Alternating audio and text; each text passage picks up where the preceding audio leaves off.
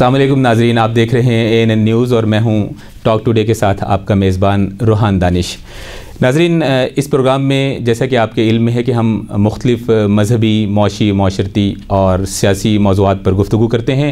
हमारी मेहमान होती हैं मुख्तलिफ़ मरूफ शख्सियात। इसी तरह आज के इस प्रोग्राम में हमने दावत दी है हमारे साथ फ़ोन लाइन पर मौजूद होंगे एस एस पी मीरपुर। जनाब राजा इरफान सलीम साहब। हम इनसे जो है वो कोरोना वायरस की वबा के हवाले से और इसके नतीजे में हुकूमतों के जानब से इख्तियार किए जाने वाले लॉकडाउन के जो असरात हैं और इसके हवाले से जो अवामी ताउन है इस पर गुफ्तु करेंगे। राजा साहब, मैं आपको अपने आज के इस प्रोग्राम में खुश आमदीद कहता हूँ। राजा साहब, फरमाइएगा। हम गुफ्तु का आगाज़ करते हैं। लॉकडाउन के हवाले से मैं बात करूँगा, आपसे जानना चाहूँगा। सर, ये फरमाइएगा कि तकरीबन एक महीने के लॉकडाउन के बाद हकूमत ने इसमें मज़ीद दो हफ़्तों की जो तोसी का ऐलान किया, और जुजवी बहाली के साथ बाज़ शोबों की। तो ये फरमाइएगा कि इस हवाले से कोई अवामी इश्तियाल कहीं आपके मुताले में, नज़र में आया, कहीं देखने में आया, सुनने में आया कोई एहतजाज अवामी हलकों की जानब से या कारोबारी हलकों की जानब से? बहुत शुक्रिया जी। सबसे पहले तो मैं ये का शुक्रिया अदा करता हूँ कि उन्होंने पब्लिक से बात करने का मौका दिया। आज़ाद कश्मीर के अंदर पार्शली लॉकडाउन है, जिसका चौथा हफ़्ता जो है वो अख्ताम पजीर हो रहा है। और इस दौरान जो है पूरे इलाके में पार्शली लॉकडाउन किया गया है। जो लोगों के बुनियादी ज़रूरियात हैं उनका ख्याल रखा गया है।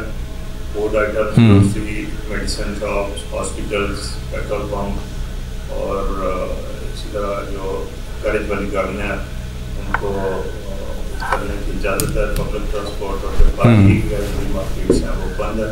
होटल्स रेस्टोरेंट बंद है।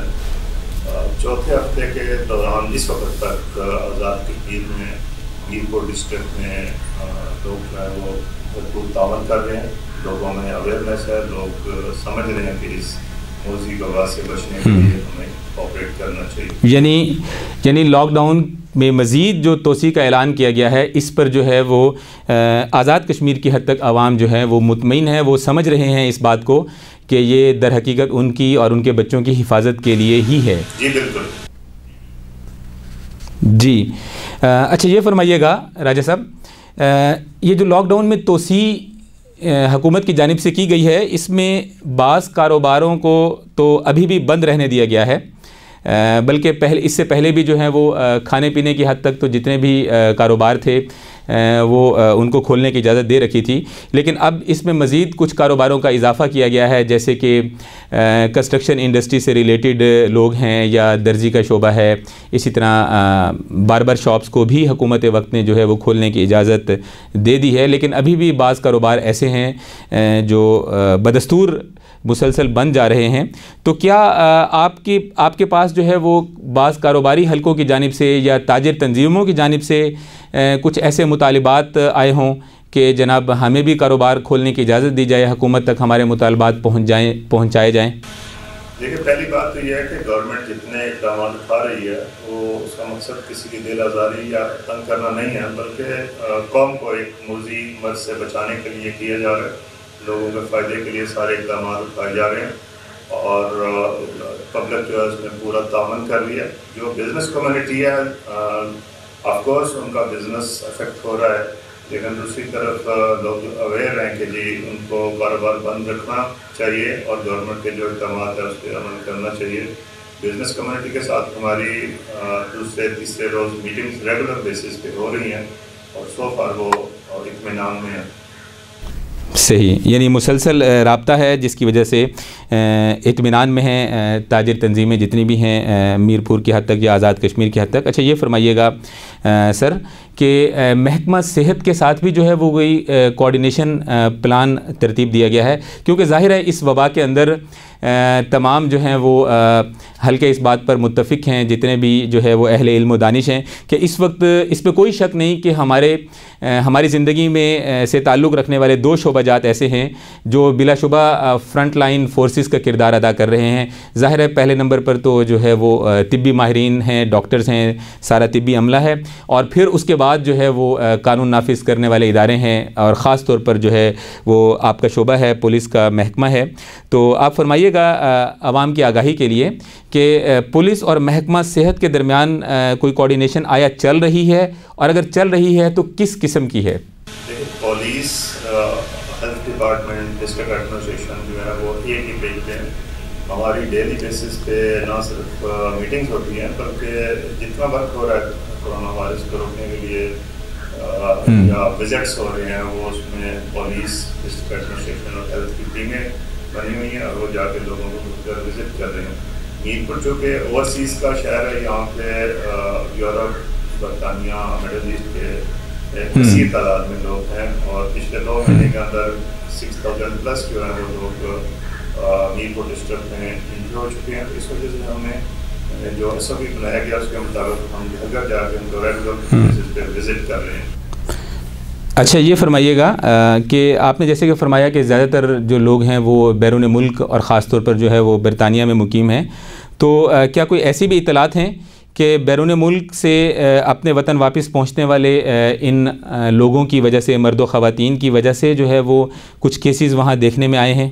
जी हाँ कोई कोई सो फार जो है वो कोरोना वायरस के जो पॉजिटिव केसेस हैं वो 15 है टोटल और उसमें अच्छा। से दो जो हैं वो ईरान से ट्रेवल करके लोग आए थे।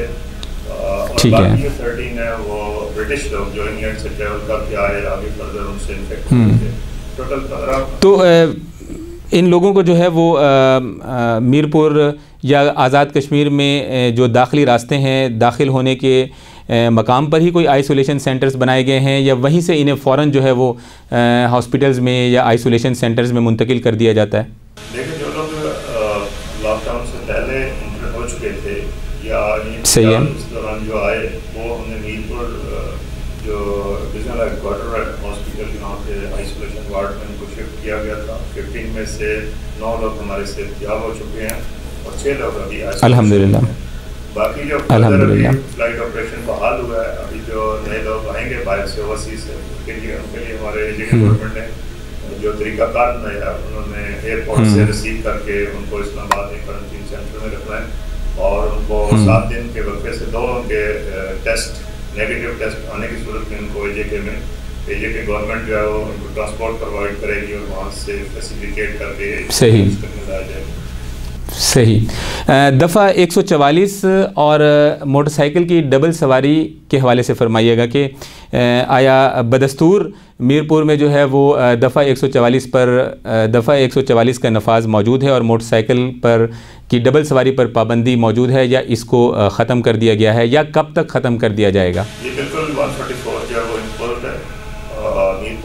स्टेज पे चूँकि उसको लोगों को फुली अवेयरनेस नहीं थी तो हमें लीगल एक्शन लेना पड़ा। केसेस हमने रजिस्टर किए हम्म। कुछ लोग अरेस्ट हुए।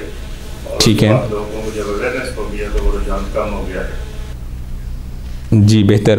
अच्छा ये फरमाइएगा जैसे कि आपने फरमाया कि इसकी ख़िलाफ़ वर्जी भी कहीं कहीं देखने में आई जिस पर जो है वो लीगल एक्शन भी आपको लेना पड़ा। तो ओवरऑल ज़रा फरमाइएगा कि इसकी सूरत हाल क्या है? आपको जो है वो बज़ोर इनको लोगों को रोकना पड़ रहा है लॉकडाउन की पाबंदी कराना पड़ रही है। इसी तरह दफ़ा एक सौ चवालीस की खिलाफ वर्जी के हवाले से या अवामी शूर उजागर करने के लिए भी आपका इदारा कुछ कर रहा है। देखिए इनिशियल स्टेज पे तो हमें इन्फोर्समेंट ज़्यादा करनी पड़ी क्योंकि हम्म। उनको ना फमीलिया थे ना इस तरह की डिज़ीज़ या इस तरह की वबा पहले पहली लेवल की तो शुरू में हमें इन्फोर्समेंट करनी पड़ी लेकिन जब लोगों को साथ अवेयरनेस हमने दी तो लोग कॉपरेट करना शुरू हम्म। तो ये अवेयरनेस के लिए आप लोग क्या तरीक़ाकार इख्तियार आप लोगों ने किया? पम्फलेट की तकसीम है या आया ऐलानात हैं?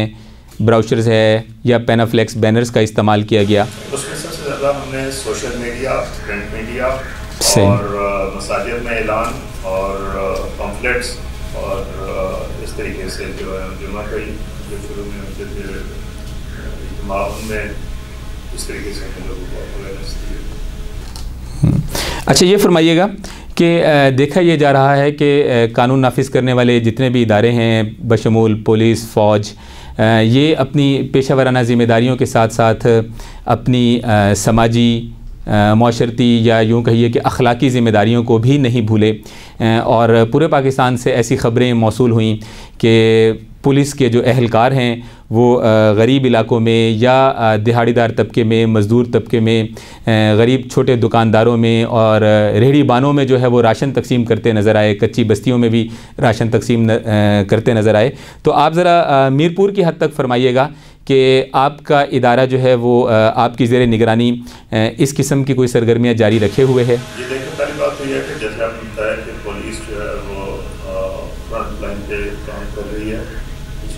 महीने से साढ़े पाँच सौ से ज़्यादा जो पुलिस है मीरपुर डिस्ट्रिक्ट के अंदर दिन रात हम राउंड द क्लॉक हम काम कर रहे हैं और हम्म। सारी इस एक्सरसाइज का मकसद किसी की दिलादारी करना नहीं है बल्कि लोगों को इस मौलिक वबा से बचाना उनकी ज़िंदगियाँ सेव करना हम्म। और दूसरी तरफ़ लोगों की मदद की बात है वो इंसानियत के नाते घड़ी में हम उसमें हम्म।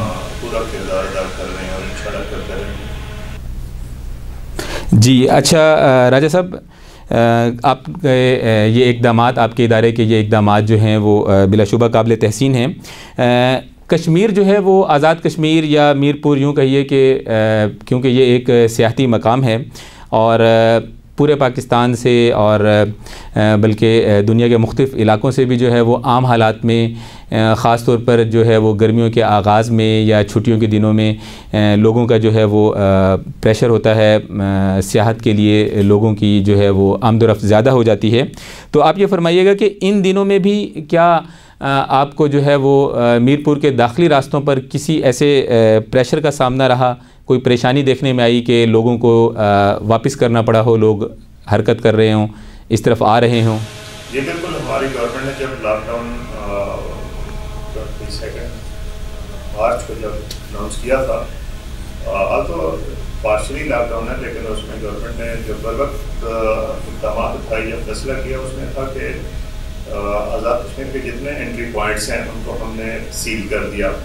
और उसमें जो फ़ूड आइटम्स के मेडिसिन के या असेंशियल सर्विसेज़ के लोगों के बाकी हर किस्म की एंट्री जो है वो बंद कर दी थी। और यकीन उसमें जो टूरिस्ट या जो इस हवाले से लोग आना चाहते थे उनकी दिलादारी थी लेकिन मेन मकसद ये था हम्म। कि इस वबा से रोका जाए सोशल डिस्टेंस उनको महफूज रखा जाए। जी। पैगाम दीजिएगा। राजा साहब आपको पूरी दुनिया से जो है वो नाजरीन और पूरे पाकिस्तान से सुन रहे हैं। उनकी उनके लिए आपके महकमे की जानब से क्या पैगाम है? मेरा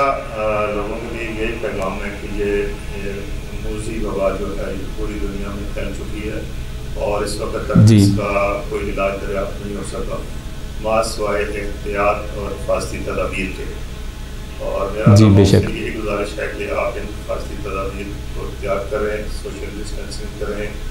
जो जो आपको हदायत मिल रही हैं सोशल मीडिया के ज़रिए या प्रिंट मीडिया के ज़रिए आप उन पर अमल करें। आप खुद को महदूद करें गैर ज़रूरी मोमेंट उसको रिस्ट्रिक्ट करें। को दूसरों को भी। बहुत शुक्रिया, sir. Thank you so much आपके कीमती वक्त के लिए, आपके ममनून हैं। नाजरीन, जैसा कि आपने गुफ्तु सुनी S S P Mirpur Raja Irfan Salim हमारे साथ मौजूद थे। उन्होंने भी अपने आखिरी पैगाम में यही फरमाया कि लोगों को, उनको अपनी ज़िंदगियों को बचाने के लिए, अपनी और अपने घर वालों की, अपने बच्चों की, अपने ख़ानदान की हिफाजत के लिए मेरा यही पैगाम है कि अपने घर में रहिए, बिला ज़रूरत घर से मत निकलें। यही हिफाजती तदाबीर ही हैं जिनको इख्तियार करके ख़ुद को और अपने घर वालों को, बल्कि इस पूरे माशरे को इस वबा से महफूज रखा जा सकता है। क्योंकि फ़िलवक्त पूरी दुनिया में जो है वो इसकी कोई दवा या मेडिसन, कोई वैक्सीन दरियाफ़त नहीं हुई।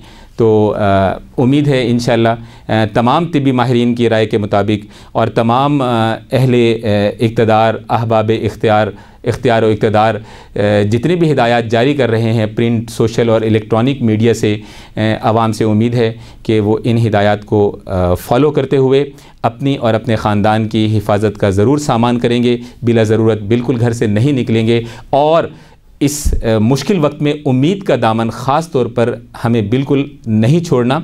जी तमाम के तमाम जो हैं वो माहरीन इस बात पर मुतफ़िक हैं कि हमें एहतियात के अलावा हमारे पास कोई दूसरा रास्ता नहीं है। हाँ अलबत् उम्मीद एक ऐसी चीज़ है जो न सिर्फ़ मदाफ़ती निज़ाम को मज़बूत करती है, बल्कि इसके ज़रिए से इंसान बड़ी से बड़ी मुश्किल से और बीमारी से निकल सकता है।